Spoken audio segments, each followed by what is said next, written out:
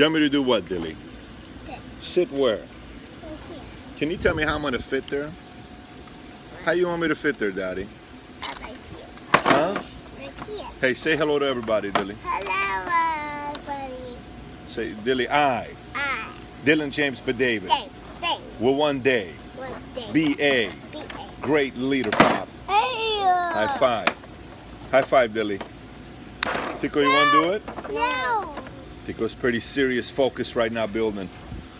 The word unity is a very, very powerful word. Unity. I think there's three countries out there that start with the word united.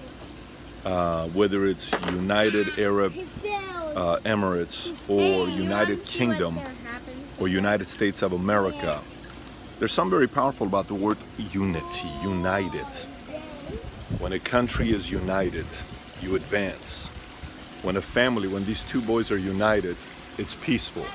When they're not united, this house feels like a hurricane hit us. When they're not united.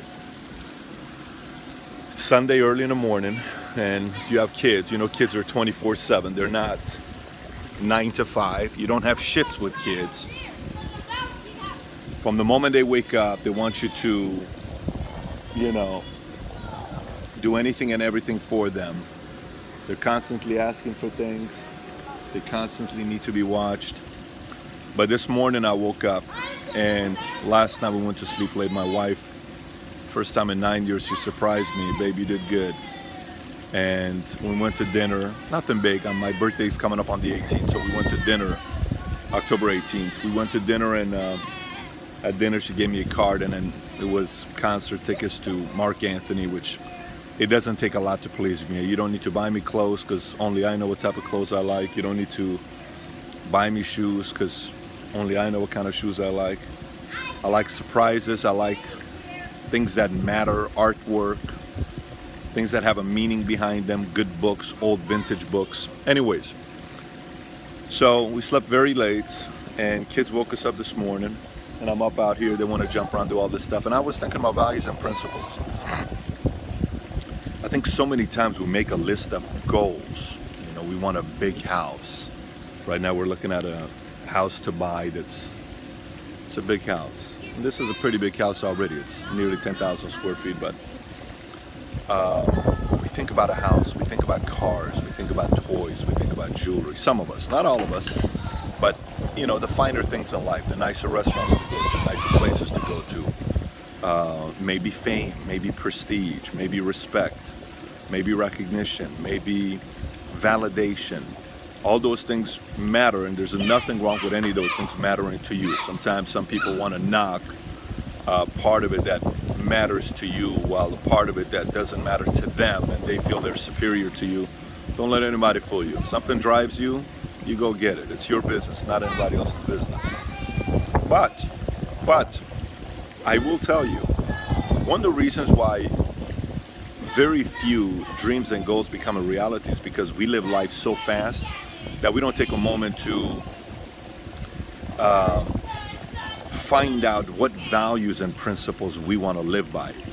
I think it was seven years ago where I was in Hawaii and I woke up, told my wife, I said, let's grab a paper and pen. And I just started making a list of values and principles that I live by. And I think we came out with 40 something names and 40 something lists.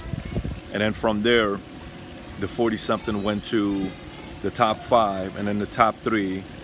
And then, you know, these guys showed up out of nowhere. Um, but values and principles, Pop, are very critical because values and principles, if you stick to them, they will be as loyal to you, increase the faith your spirit has in the words that come out of your mouth.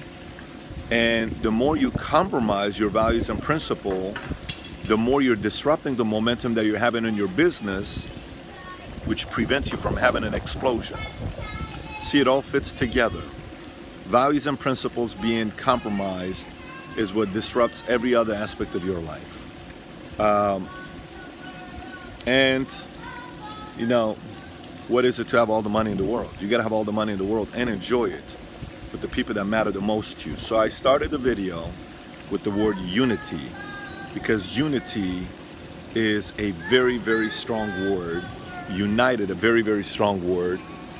Um, my suggestion to you would be to make a list of your values and principles and ask yourself which ones you're going to live by and do whatever you can to not compromise them and not let others compromise it unless if they need improvements and adjustments but not something that if it needs to be completely compromised.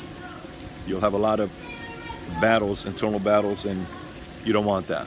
So for me this goes back in the military when in September of 1997 um, I started praying and asking for four things. Courage, wisdom, tolerance, understanding.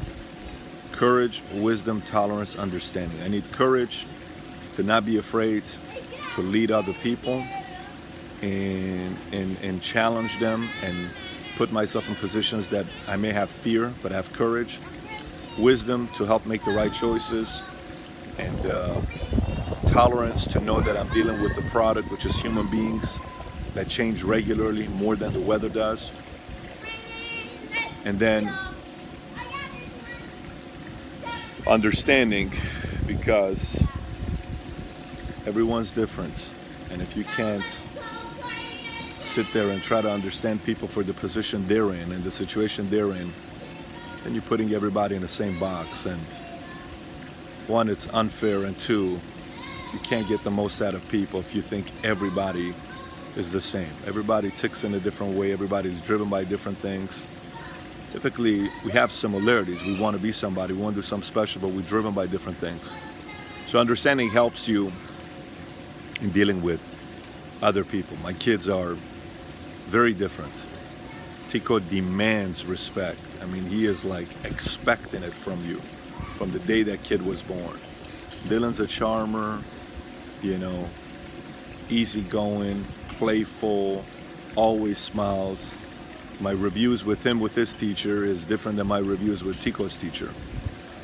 But I have to do my best to try to understand both of them. And then God throws me a curveball and gives me a daughter named Senna Rose, and she's going to be completely different than these guys. So, courage, wisdom, tolerance, understanding. It's a rant. Today's a rant. It's a Sunday.